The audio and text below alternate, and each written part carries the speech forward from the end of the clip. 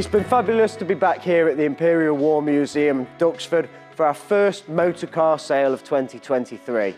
We've sold over 70% of the lots offered here today, with over £3 million currently the total for the vehicles that have exchanged hands.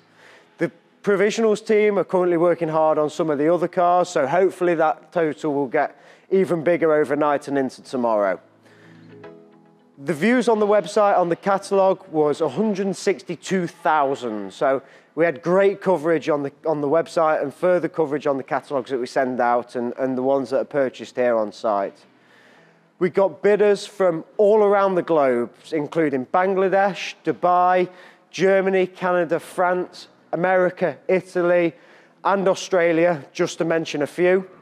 And we had some really notable results with the cars which we sold some of the big sellers, the unmissable Michael Caine Silver Shadow Drophead Coupe.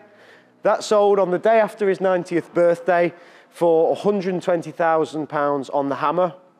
Another notable seller for the same amount was an exquisitely restored XK150S Roadster, which also found a new home.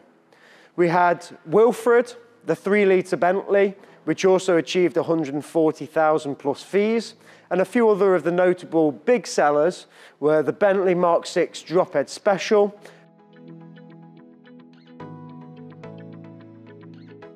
and the Lagonda LG45 Tourer, just to mention a couple.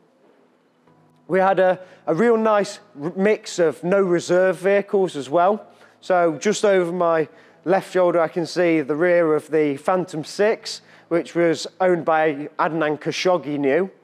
That had very competitive bidding in the room with at times the bidding raising in, in £10,000 increments and, and in the end achieving 75,000 plus fees.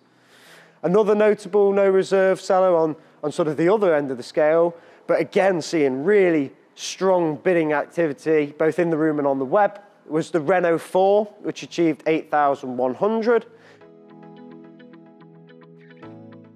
And also the Fiat 500, which was a notably nice example, selling for 10,200 on the hammer as well. The Lotus Elise from the Jeff Ward collection as well sold well as a no reserve car. In the fast road section, we had some fantastic results. So the 911 Supersport Targa, one of only 14 UK right-hand drive cars, way exceeded its top estimate, achieving in the region of £65,000 on the hammer. Other strong sellers in that section included the KVA evocation of the GT40, the Ultima, which was unmissable in its fabulous yellow paintwork. The Bentley GTC Speed Black Edition has just been sold in the provisional bids office and we sold the 360 Challenge, uh, which hopefully we'll see competing on a racetrack very soon. Finally, a lot of cars did well and achieved over their estimated figures. So Cars achieving over their guide price included the Alvis TD21 drop head, the Triumph Stag, which also happened to be from the same stable, and the Alvis Firefly, which exceeded its top estimate too.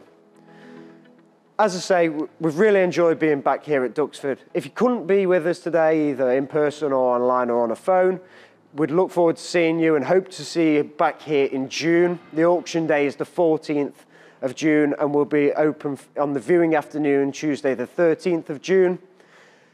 We'll be back at Buxton for the first sale there of 2023 with the auction on the 26th of April.